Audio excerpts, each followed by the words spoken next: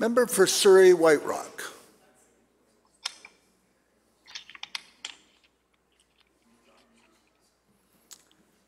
Member, might I remind you to unmute? Sorry, I double clicked it. Thank you, Mr. Speaker. You don't know how pleased I am to be rising to speak in the legislature today.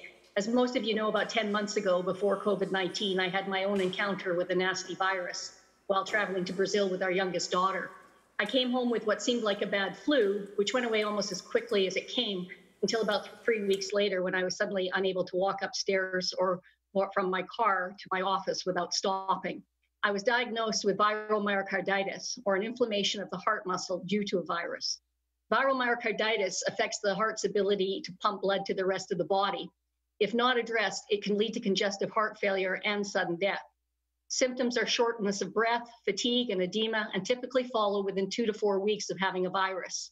If you have symptoms like this after having had a cold or flu, consult your doctor because this can be life threatening uh, uh, viral myocarditis can affect anyone, including young adults, children, and infants, and it's the third leading cause of death in young adults and children in the US.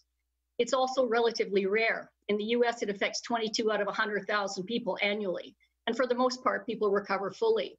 However, in some cases, the disease can be deadly for reasons not well understood. And in my own case, it was almost catastrophic, taking out 80% of my heart function. It's been a long road back. I'm here today thanks to the incredible skill of my family GP, Dr. Andreas Bradenkamp, and my cardiologist, Dr. Vicki Bernstein, as well as numerous other cardiologists, acute care specialists, and the incredible nursing staff at VGH.